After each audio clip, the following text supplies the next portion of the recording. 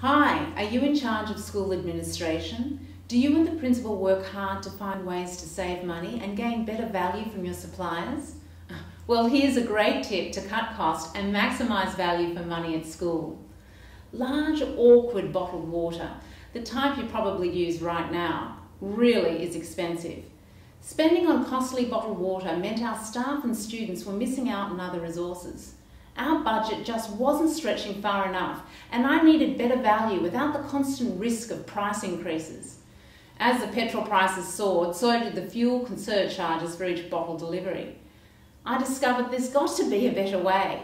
With just one phone call, I stopped our bottled water and switched to ClearFresh Water's bottle-free PuroStream coolers. What an amazing difference! For a start, our costs came down immediately, and with ClearFresh, the installation is so simple and free of charge. With the money we saved, we purchased a new reading program and new library display. Give them a call today. Doesn't your school deserve to maximise its budget expenditure?